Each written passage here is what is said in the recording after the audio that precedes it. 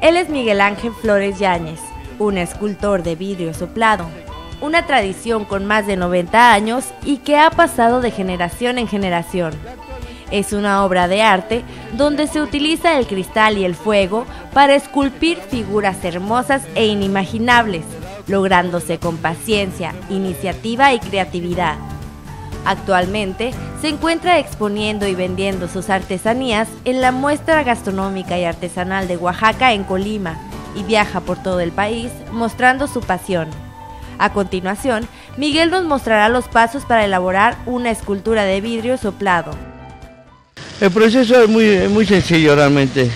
Realmente lo que cuenta aquí la iniciativa que uno tenga para tratar de elaborar cualquier pieza de cristal. El cristal, digamos, este, pues lo fundimos por medio de un soplete a una temperatura un poquito elevada para que podamos fundir el vidrio.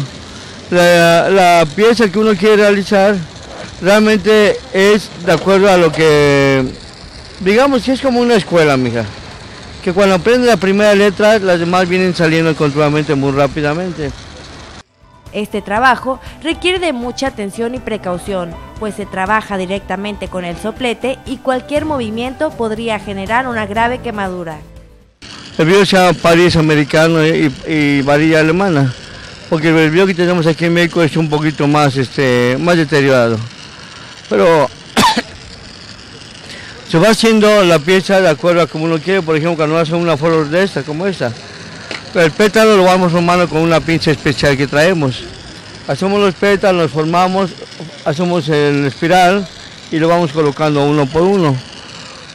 Por último, las esculturas pueden ser pintadas de colores con una pintura especial que les da un toque muy mexicano y bonito. El vidrio se vende fundiendo de acuerdo al calor de del fuego, digámoslo así. Porque muerto caliente una pieza y caliente el otro y al unirnos se funden las dos piezas y se pegan. Sí, mira, se le puso un colibrí a esta flor. Ya después se decora con los colores estos. Los colores con las hojas, la, la, flor, el colibrí, se van poniendo un color y vienen quedando así como es. Se puede subir los colores. Para Noticias 12.1, Diana Ábrica.